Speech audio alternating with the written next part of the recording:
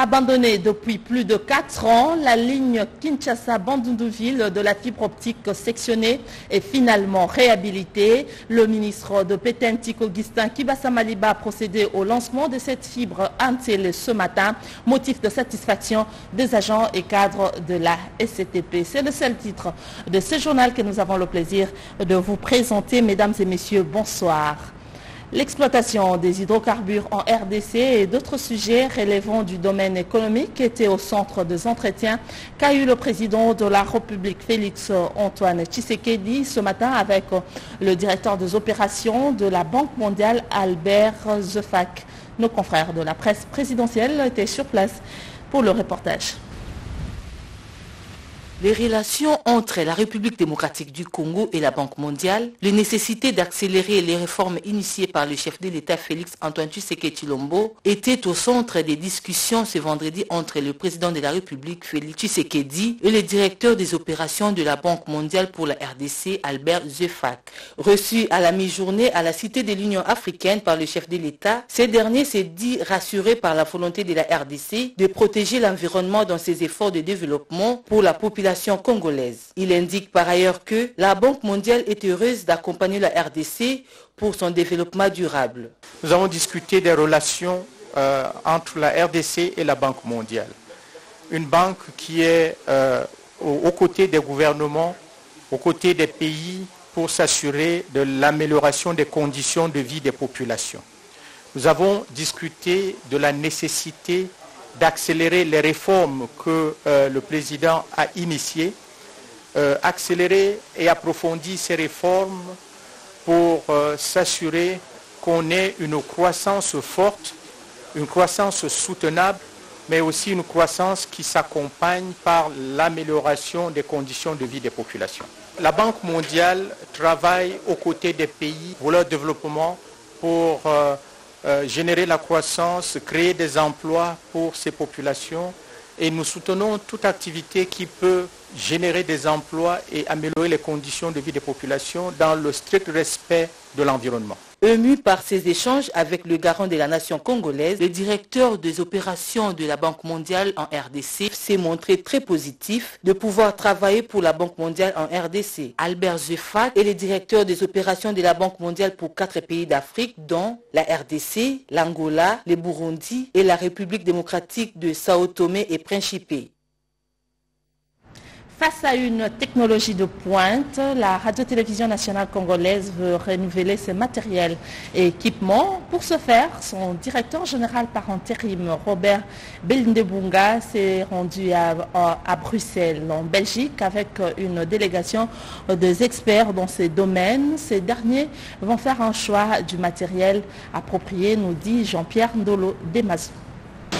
Une visite de travail salutaire pour la RTNC son directeur général intérimaire Belide Bunga arrive à Bruxelles, en Belgique, dans le cadre du vaste programme de rééquipement de la chaîne nationale tel que décidé par le gouvernement de la République. Nous sommes venus en Belgique euh, pour prendre contact avec notre partenaire, Sidotech. Vous savez que nous avons un ambitieux programme euh, d'équipement de la RTNC. Euh, du point de vue de la basse fréquence, même la haute fréquence, il fallait que nous puissions venir visiter notre partenaire, voir sa capacité, ses potentiels, n'est-ce pas, en ce qui concerne euh, les équipements hein, audiovisuels, comme euh, le gouvernement euh, le souhaite, et pour le bonheur du peuple congolais.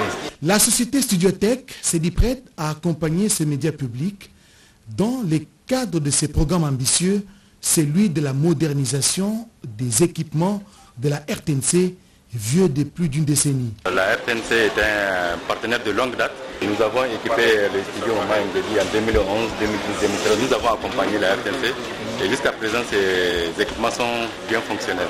Maintenant, pour accompagner euh, le programme du gouvernement de la République démocratique du Congo, euh, la RTNC est un grand partenaire via le ministère de la Communication qui a des ambitieux programmes projet pour pouvoir euh, rééquiper, réhabiliter et puis euh, donner des infrastructures très modernes au niveau de la RTNC.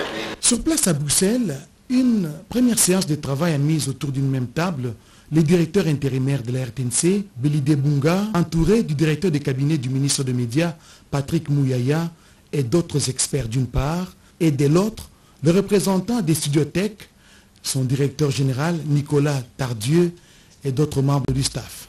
Une visite guidée des installations du studiothèque ainsi que des équipements acquis sur fonds propres du gouvernement de la République est prêt à être embarqué vers Kinshasa grâce au leadership du président de la République, Félix Antoine Tshisekedi Chilombo, s'en est suivi. Dans ces lots d'équipements figurent des cartes de reportage, des caméras, des faisceaux, des studios et des régies mobiles TV radio, des matériels et des systèmes d'archivage numérique avec librairie automatisée. C'est une bonne nouvelle. La fibre optique euh, sur l'axe Kinshasa-Bondundouville vient d'être remis en ligne. Le ministre de Pétentik Augustin Kibasa, qui ne ménage aucun effort pour cette réhabilitation, promet également de poursuivre cette euh, installation jusqu'à Kasumbalesa dans le Haut-Katanga pour faciliter la connexion de l'Internet à la population. D'autres détails avec euh, Nono Monteku Mingele. La date du 28 juillet 2022 restera à jamais gravée dans les annales de la Poste de la République démocratique du Congo car elle marque la reprise de la ligne nationale des fibres optiques axe Kinshasa-Bandundouville. Et c'est grâce aux efforts du ministre des Postes et Télécommunications et Nouvelles Technologies de l'Information et de la Communication, Augustin Kiba Samaliba, a dit le directeur général de la Société congolaise des Postes et Télécommunications, Didier Moussete. Excellence, Monsieur le ministre, les agents de la SCPT me mandatent ce jour à vous dire merci. Un merci chaleureux, car vous ne cessez de nous prouver votre engagement à transformer une entreprise autrefois éteinte en vue d'une véritable machine de production de services pour le bien de nos concitoyens. Pour les DG de la SCPT, la ligne Kinshasa-Bandundouville de 429 km a été abandonnée depuis 4 ans pour avoir connu des sectionnements à plusieurs endroits. Avec l'avènement de la fibre optique, le ministre des tutelles a déclaré que la RDC a un défi énorme à relever en matière de télécommunications. L'État congolais est plus que décidé d'offrir le service universel. Ça veut dire que chaque Congolais demain doit pouvoir être connecté. Il y a d'autres pays qui l'ont fait. Il n'y a pas de raison que la RDC ne puisse pas être en mesure de le faire.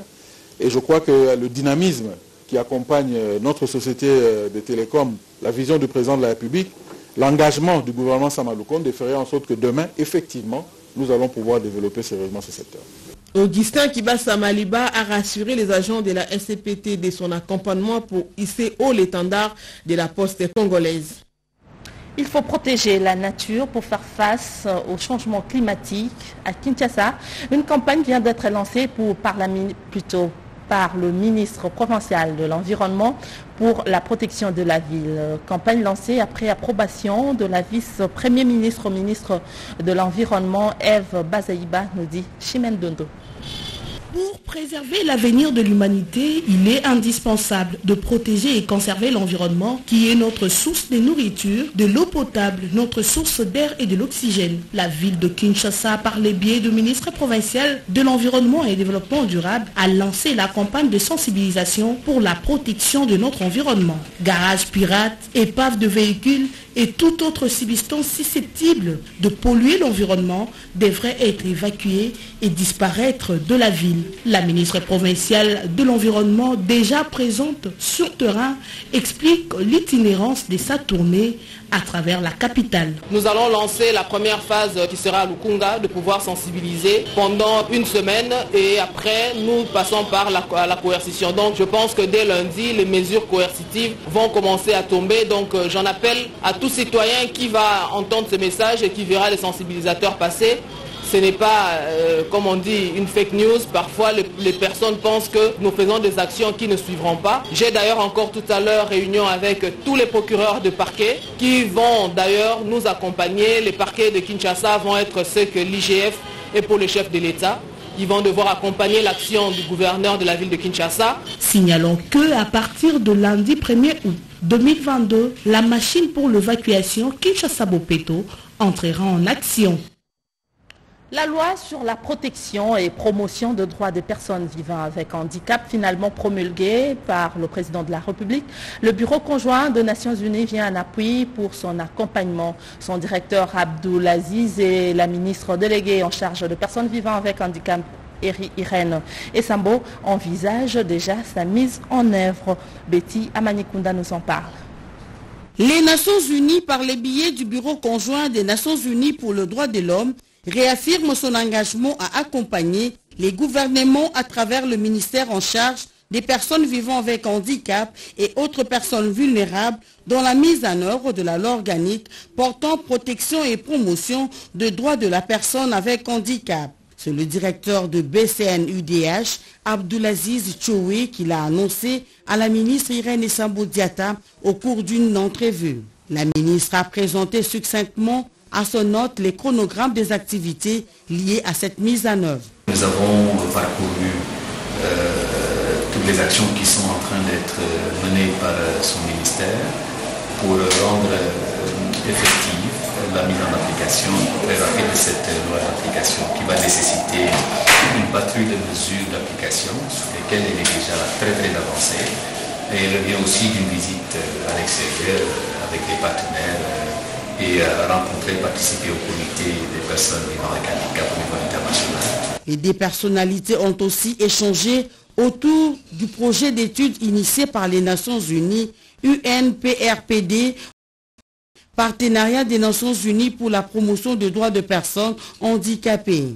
Il est prévu pour cette mise en œuvre la création d'un secrétariat général du Fonds national d'accessibilité et d'autonomisation de personnes vivant avec handicap et la mise en place du conseil consultatif.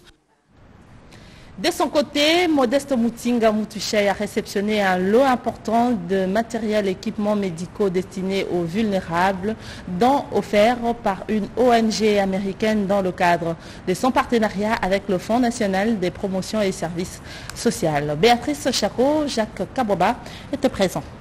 C'est dans les soucis d'améliorer la prise en charge des vulnérables, toutes catégories confondues, que Modeste Moutinga Moutouichaï, ministre des Affaires sociales, Action humanitaire et solidarité nationale, a reçu et remis officiellement un lot important des matériels et équipements médicaux et orthopédiques offerts comme don par l'ONG américaine. Projet Cure dans le cadre de son partenariat avec le Fonds national de promotion et de services sociaux du centre médical de Kabinda dans la commune de Lingwala en passant par l'Institut national pour aveugles, INAV en sigle, situé à Gombe, jusqu'au centre médical Kinkole. Le ministre Moutinga Moutuchaï a remis des cannes pour aveugles, des vélos, chaises roulantes, des appareils détecteurs et réanimation des signes vitaux des malades à toutes ces formations médicales précitées.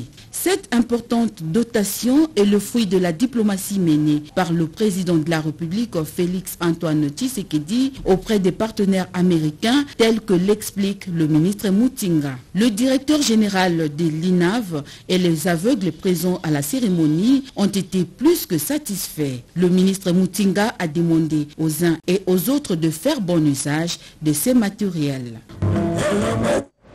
Et dans le cadre de la protection et la promotion des activités de personnes vivant avec euh, handicap, euh, la diaspora congolaise vivant en France a partagé un repas de cœur avec les aveugles et les malvoyants congolais. Question d'entendre ce qu'ils veulent, ce qu'ils cherchent, en vue de les aider. Anastasie Doumbou nous en parle pour plus de détails et les malvoyants étaient à l'honneur à l'occasion de cette séance de partage d'un repas de cœur avec la diaspora congolaise de France qui soutient les actions à long et court terme du chef de l'État Félix-Antoine Tshisekedi Chilombo, telles que la matérialisation de la loi sur les droits de personnes vivant avec handicap en République démocratique du Congo. La structure MDDC dit non à la discrimination des aveugles et à la mendicité. Ces personnes ont droit à la vie comme toute autre personne humaine, a souligné la présidente monde Christine Pinda. On est une voix qui va porter euh, vers le président de la République pour pouvoir justement expliquer leurs difficultés euh, dans la vie quotidienne. Ce n'est pas évident. Nous avons entendu euh, le président de des personnes vivant avec handicap l'exprimer. Hein. il avait un sentiment qu'ils étaient oubliés, mais non, on ne les a pas oubliés. Le président de la République ainsi que la, ministre chargée euh, des personnes vivant avec handicap s'occupent bien de cette problématique. Ces femmes battantes s'engagent à soutenir le président de la République pour garantir sa victoire aux élections de 2023. Les aveugles ont lancé un cri d'alarme au gouvernement congolais pour leur accorder la subvention en vue d'améliorer leurs conditions de vie. Notons que cette structure internationale encadre les femmes désœuvrées dans l'entrepreneuriat et la santé en vue d'assurer l'autonomisation de la femme toujours dans ce chapitre des affaires sociales. La RDC et la Côte d'Ivoire entretiennent une euh, coopération en matière humanitaire. Les deux pays veulent pérenniser et accentuer l'apport de chacun. C'est ce qui a été dit au cours des entretiens qu'a eu les ministres des Affaires sociales et solidarité nationale Modeste Moutinga Moutichai avec le nouvel ambassadeur de la Côte d'Ivoire en RDC, Vital Pagabita pour le reportage. La République démocratique du Congo et la Côte d'Ivoire entretiennent de relations amicales et de coopération vieilles de plusieurs décennies. C'est en vue de les redynamiser et entrevoir des passerelles de collaboration dans les domaines social et humanitaires que M. Silas Metz, nouvellement accrédité comme ambassadeur de la Côte d'Ivoire en RDC, a été reçu par Modeste Moutinga Moutichai, ministre des Affaires sociales, Actions humanitaires et Solidarité nationale. Les contours de leurs échanges avec l'ambassadeur Silas avons échangé sur les opportunités de coopération bilatérale dans le domaine humanitaire. Vous savez que dans ce domaine, nos pays rencontrent des difficultés. Et le plus important, c'est de se tourner vers les solutions internes avant de rechercher les opportunités externes. Donc euh, il a été question de voir au niveau de la coopération ce qu'il y a lieu de faire. Euh, nous envisageons certainement une rencontre euh, entre les deux ministères, ministère des Affaires sociales de la République démocratique du Congo et euh, le ministère des Affaires sociales de la République de Côte d'Ivoire pour échanger sur les opportunités et sur euh, la nécessité de renforcer la coopération sur le plan euh, humanitaire et sur le plan des affaires sociales. Une fois leurs relations réactivées, la Côte d'Ivoire et la République démocratique du Congo pourront exploiter leurs opportunités respectives selon un régime gagnant-gagnant.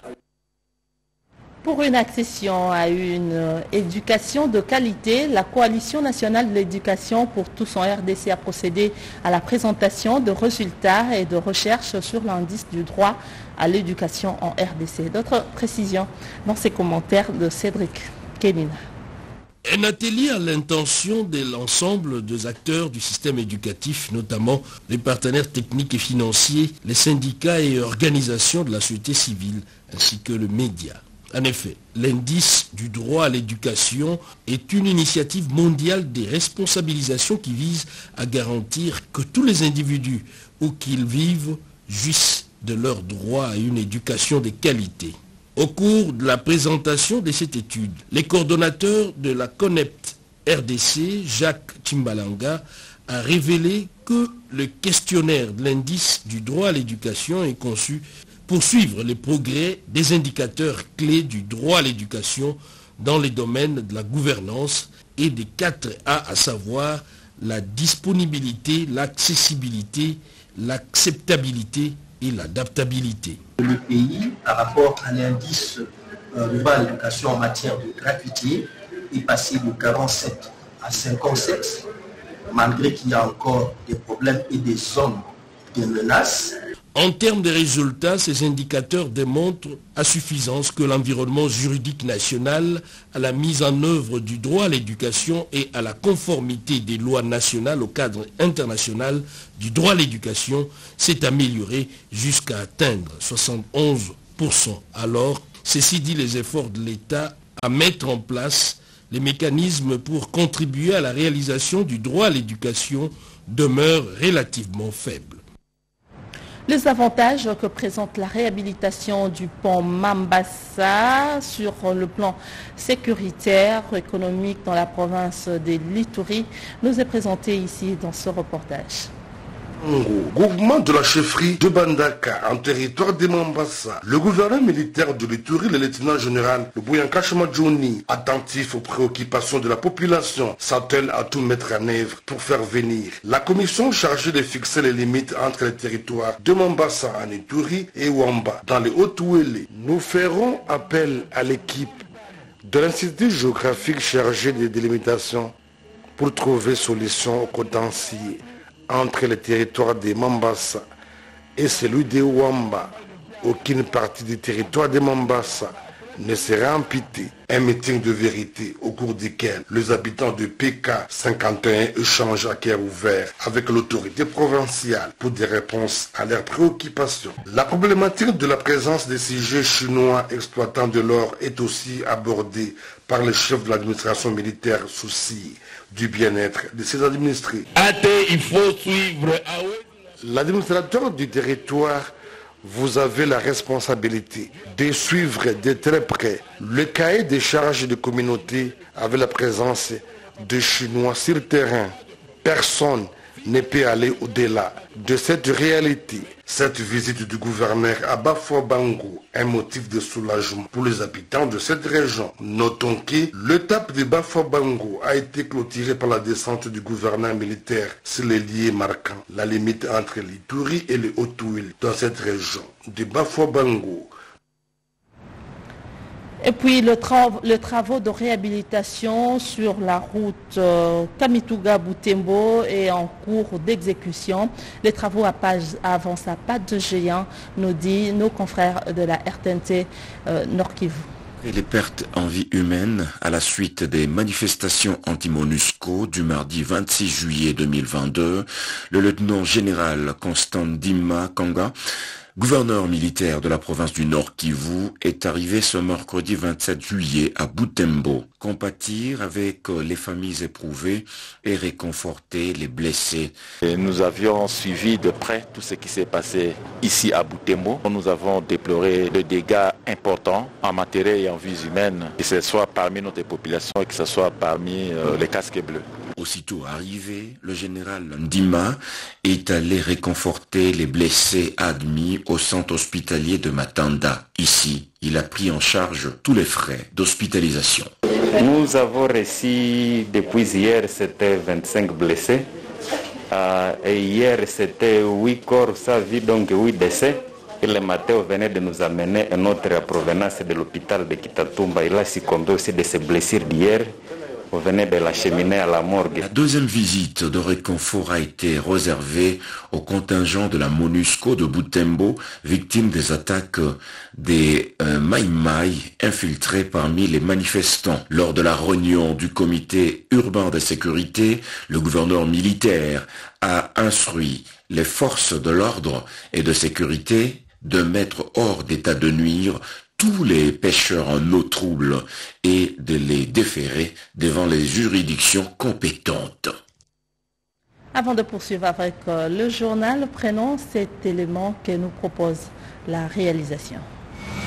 La réouverture de la route Eringeti-Kainama à plus de 60 km au nord de la ville de Beni est en train d'être effective. Les travaux relatifs vont bon train. Le constat a été fait par le gouverneur militaire du Nord Kivu, le lieutenant général Constant Dima, au cours de sa visite d'itinérance effectuée sur cet axe ce samedi 30 avril 2022. Les travaux y sont exécutés par les génies militaires des FRDC, comme c'est le cas pour l'axe Mbao-Kamango, visité la veille par l'autorité provinciale. La réouverture de la route Eringeti Kainama offre des opportunités à la population locale car 60 civils sont employés comme cantonniers aux côtés des militaires et bénéficient de leur pain quotidien grâce à ce travail. Le général de brigade de Mouekwa Julien, commandant des opérations et renseignements au corps des génies militaires, indique que les travaux doivent aller jusqu'à Boga en Ituri, soit à une distance de 53 km. Son vœu est de voir être renforcé en camion Ben pour accélérer les travaux. Oui, je souhaite qu'on me, renforce surtout en Ben.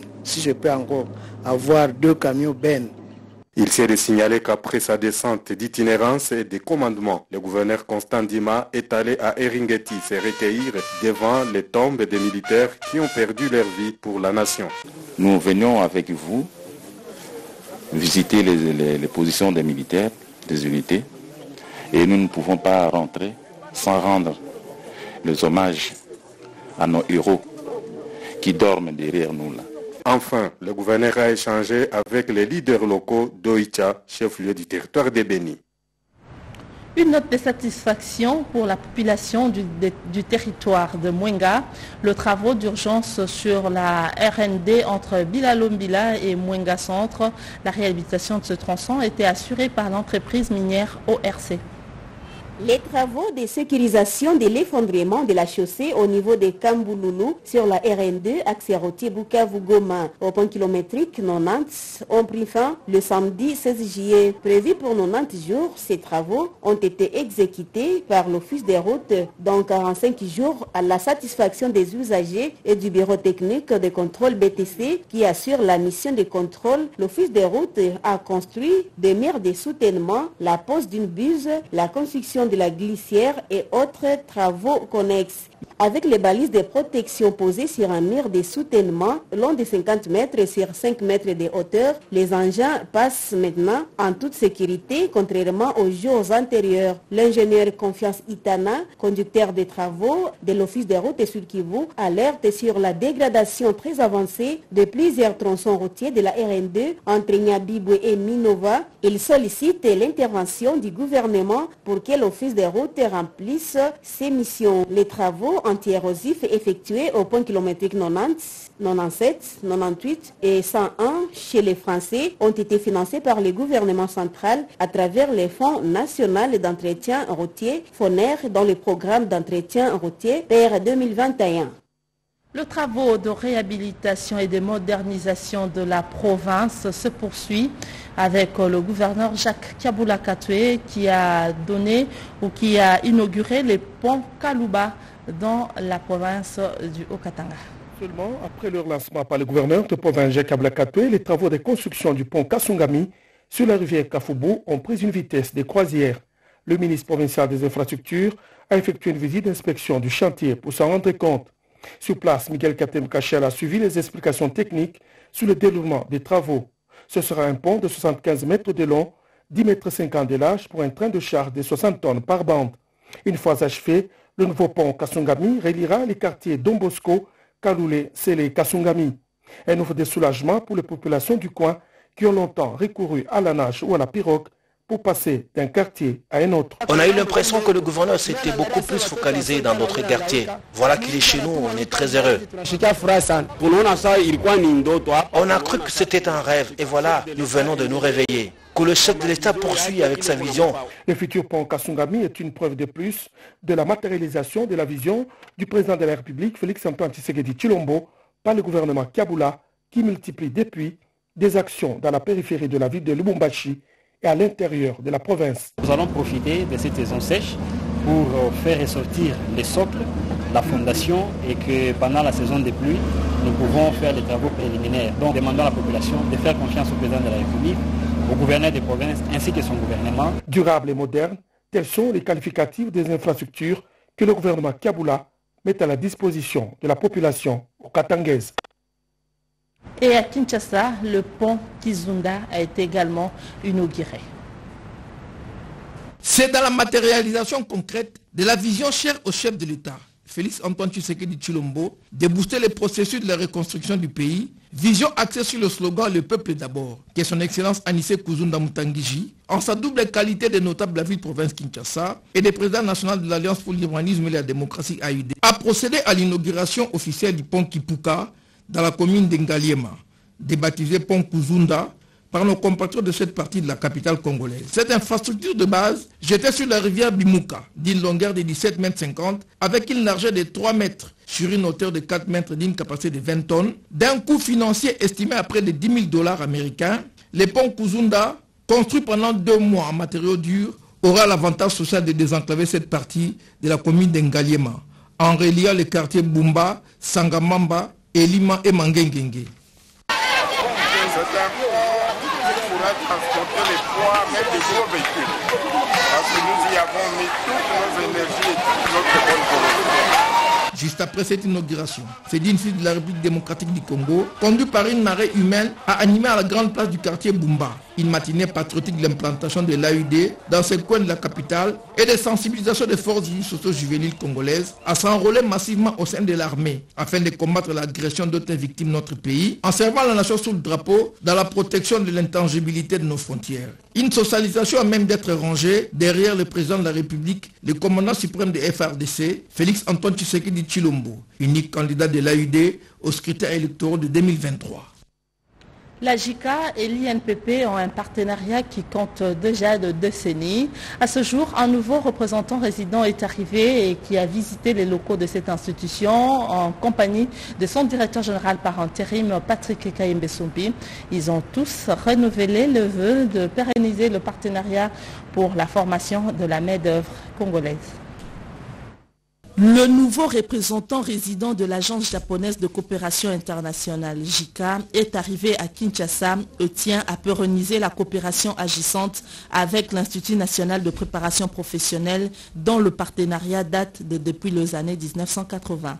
Murakami Hironobu a visité les locaux de l'INPP situés sur la 11e rue Limité et s'est dit satisfait de cette bonne et franche collaboration qui se matérialise par différents projets. Reçu par le directeur général AI de l'INPP, Patrick Kayembe-Sumpi, qui a souhaité la pérennisation des acquis de cette coopération japonaise qui, jusqu'à maintenant, permet de promouvoir des ressources humaines dans des entreprises. Étant donné que la JICA est en coopération avec l'INPP, le nouveau représentant devait venir nous visiter pour se rendre compte des activités de l'INPP, qu'est-ce que nous faisons dans le cadre de la coopération INPP-JICA. Le nouveau patron de la JICA a apprécié la qualité du matériel trouvé sur place et promet d'inscrire son action dans la logique de pérenniser la coopération JICA-INPP. J'ai constaté les efforts euh, très consacrés de la part de contrepartie congolaise de INPP.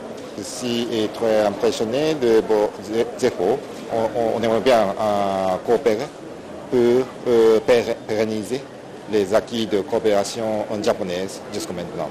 Les deux parties veulent booster à travers cette coopération la formation d'une main-d'œuvre qualifiée et le développement de la RDC menée par le président de la République, Félix-Antoine Tshisekedi. Des lampadaires, poteaux et autres matériels pour l'électrification de la province du Bazouélé, dont de la fondation André Kadima, réceptionné par le gouverneur de cette province, Robert Sanza. Eric Kabamba Kongolo pour le reportage. Les Bazouélé seront bientôt éclairés et vont dire certainement au revoir à l'obscurité. Récemment élu à la tête de cette province, le professeur Jean-Robert Nzanza vient de recevoir ce jour un lot important de lampadaires poteaux et autres matériels d'énergie solaire de la part de la fondation André Kadima au siège même de cette fondation. Des matériels qui permettront de réduire certains actes de vandalisme, à maintenir la propriété dans la province et aussi faciliter la circulation des véhicules une fois la nuit tombée, estime le gouverneur Jean-Robert Nzanza. Nous voulons remercier la Fondation pour ces gestes, mais aussi spécialement le chef de l'État qui a assisté la Fondation quand nous savons que ça aura un impact majeur dans l'éclairage public dans le Bas-Ouélé. Le gouvernement provincial qui a été investi par le chef de l'État ne ménage aucun effort pour essayer de booster un peu le, développement dans cette province. Ainsi, tout don reçu est utilisé en bon escient avec la population et aussi espérer attirer d'autres personnes de bonne volonté qui pourraient aussi assister afin que nous puissions ensemble La fondation André Kadima n'est pas son premier don dans cette province. Les Bazouélé a déjà eu à bénéficier des machines à coudre, des lits d'accouchement et autres accessoires médicaux.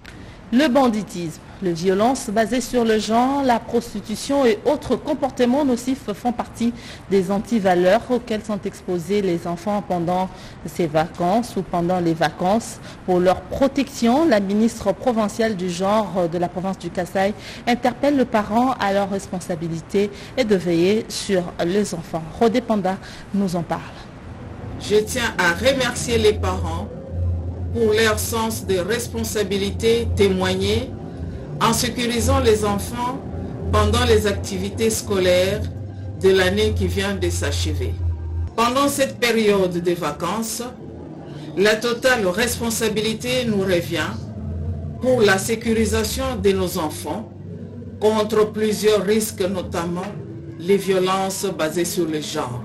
L'on sait tous que l'enfant a droit au divertissement, à l'éducation et à la sécurité, comme c'est recommandé à l'article 13 de la loi numéro 09-01 du 10 janvier 2009 portant protection de l'enfant. Je voudrais ici rappeler aux parents et aux chefs coutumiers qu'en cette période de vacances, les nuisibles dirigés contre les enfants en raison de leurs identités du genre sont devenus fréquents dans la province du Kassai, d'où la nécessité de rester vigilants. Nous devons par conséquent sécuriser nos enfants pour les épargner contre toute antivaleur qui pourrait gâcher leur avenir. Entre autres, mariage forcé, mariage précoce et j'en passe. Voilà, c'était là l'essentiel de l'actualité proposée dans ce journal des 19h. Mesdames et messieurs, avec Michel Tamouzi, interprète de Malattendant, nous étions heureux de vous présenter ce journal qui a connu le concours rédactionnel de Keren Kankolongo. Bijou Kartaressi, Rodé Panda, Pati l'ont réalisé sous la coordination de Joseph Oscar Mbal. Moi, je vous retrouve demain si Dieu le veut. Au revoir.